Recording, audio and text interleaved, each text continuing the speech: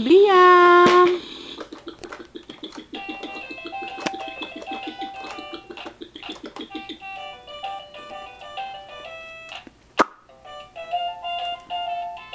Liam!